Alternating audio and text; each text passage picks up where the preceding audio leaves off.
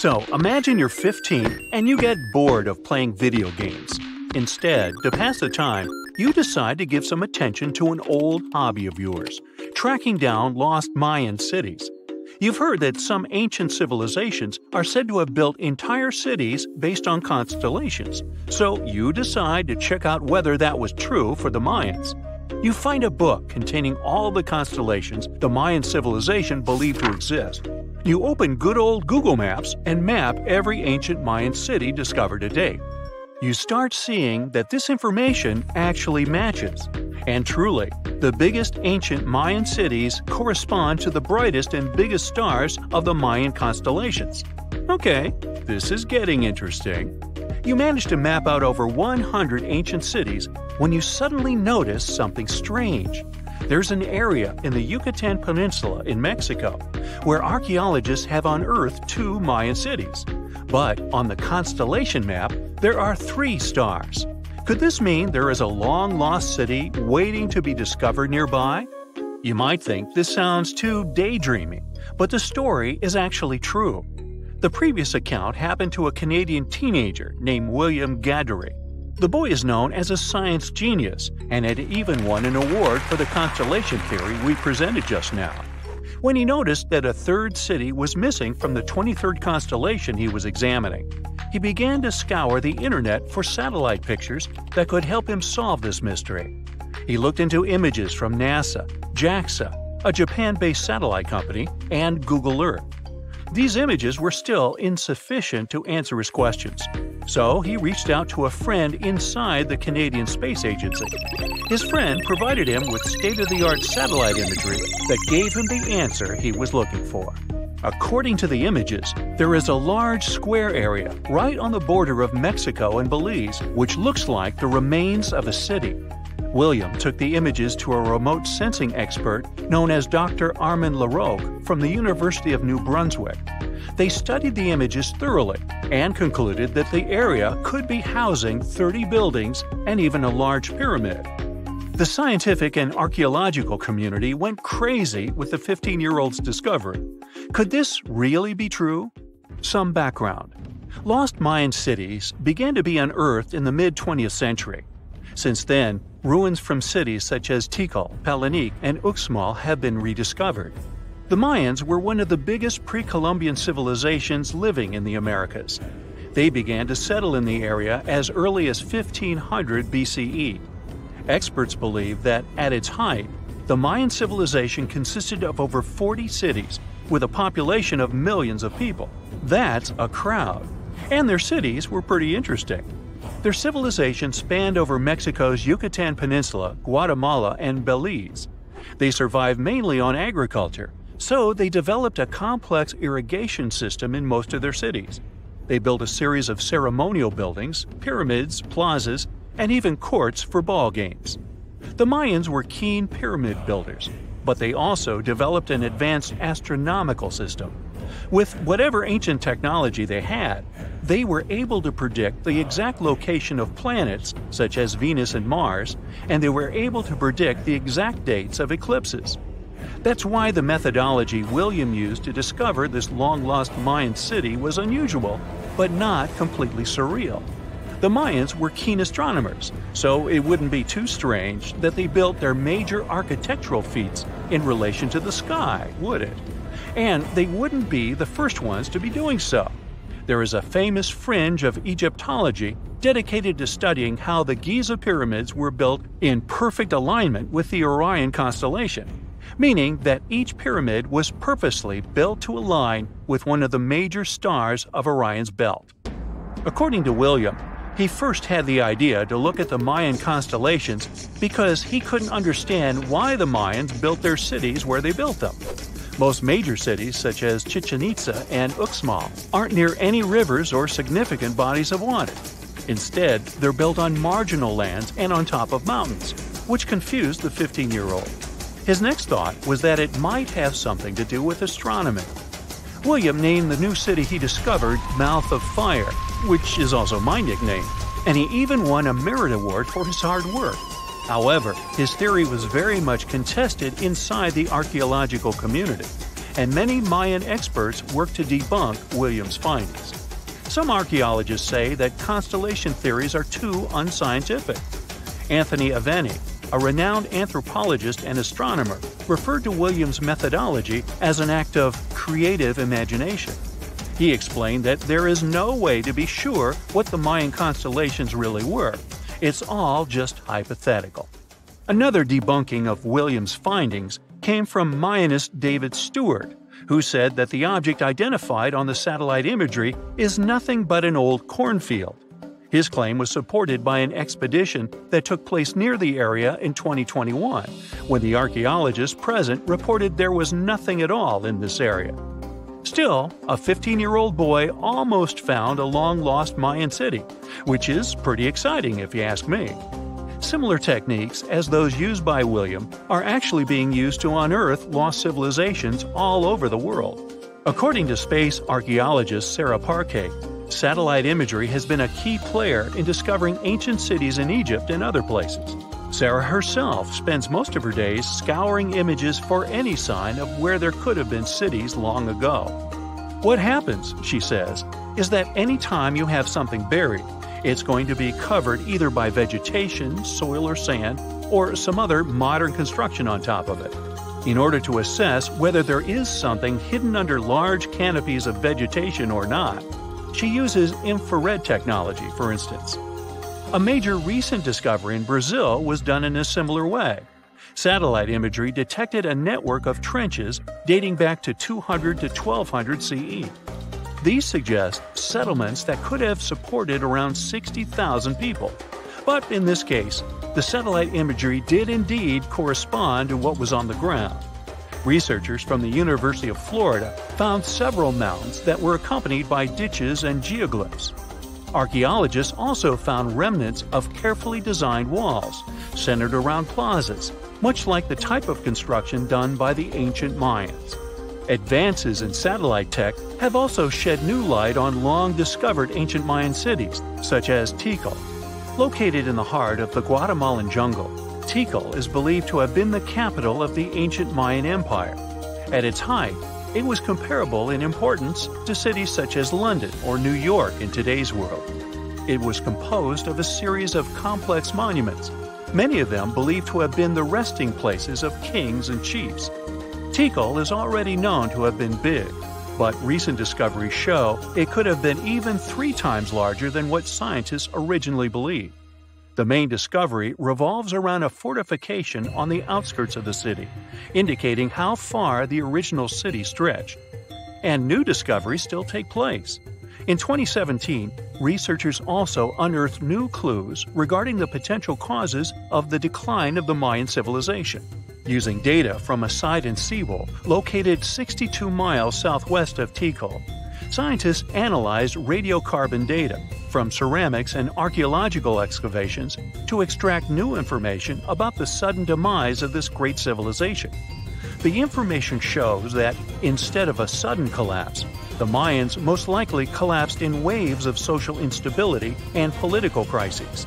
These events are believed to have deteriorated Mayan city centers and began causing the dispersion of the Mayan population. Well, it seems like it's a prime time to uncover ancient ruins. What do you say? Will you give it a try as well? Imagine discovering an ancient city without leaving the comfort of your home. In 1963, a man in the Nevşehir province of Turkey did exactly that. He was renovating his house he knocked down a wall in his basement and found a mysterious room. He continued digging and saw a tunnel. This is how Derinkuyu Underground City was found. Derinkuyu is one of the deepest multi level underground settlements of Cappadocia and in all of Turkey. This engineering masterpiece has eight levels the inhabitants living on those floors had access to cellars, storage areas, chapels, a school, a study room, and other structures. All floors are connected by an extensive network of tunnels. It's believed that the underground city was built as a shelter. You can't see the construction from the outside. Its depth is approximately 279 feet. The complex was large enough to shelter about 20,000 people, plus their livestock and food supplies. There's also a 180 foot ventilation shaft. People used it both for ventilation and as a well. The well supplied water both to the villagers living on the surface and to those hiding in the underground city. Interestingly, those living on the bottom levels were able to cut off the water supply for the upper and ground levels. This kept the water safe from potential poisoning. The place was designed for protection. The tunnels could be blocked from the inside with huge round rolling stone doors. The passageways were extremely narrow. Potential invaders had to enter the tunnels one at a time. Seems like they thought of everything in the 7th century BCE. Archaeologists believed the Phrygians were the ones who first built the levels. After them, the structure was used and enhanced in Roman times. This was when the chapels were added. The golden time of Derinkuyu, however, was during the Byzantine era. But how did these people manage to create such tunnels? Well, the rock they carved them into wasn't usual. It was soft volcanic rock, it appeared due to a geological process that began millions of years ago. Volcanic eruptions covered the area in thick ash. It then solidified into this soft rock. When the natural forces of wind and water eroded softer parts, only hard elements remained. Fun fact fairy chimneys are also made of intricately shaped volcanic soft rock, but they formed naturally without any human intervention. I'm still in Turkey, but this time, my destination is Kanakkale, where a myth came to life. For 3,000 years, people believed that Homer's Iliad was fiction and that Troy never existed. In 1863, everything changed. Expatriate Frank Calvert discovered ancient ruins in western Turkey. He was convinced they belonged to the ancient city of Troy. Heinrich Schliemann examined this area in 1868 that's when Troy saw sunlight again after all those centuries. Troy has complex layers. Over the years, nine ancient cities were built on top of one another. Historians say that the area was strategically located between Europe and Asia, so it became a prosperous trade and cultural center. This strategic position made Troy attractive throughout history. After the Trojan conflict, the city was abandoned between the years 1100 to 700 BCE. Then Greek settlers rediscovered the area, and Alexander the Great ruled there. The Romans then invaded the city. Speaking of this event, the first thing you would see when visiting the site is a replica of the wooden Trojan horse from a movie shot in 2004. The next stop is Lothal. In the 1950s, Lothal and several other Harappan sites were discovered in India. These new provinces extended the boundaries of the Indus Valley civilization. Lothal was an important part of the Harappan civilization. It had vast cotton and rice fields. Plus, it had a bead making factory. Beads were made from semi precious stones, like agate.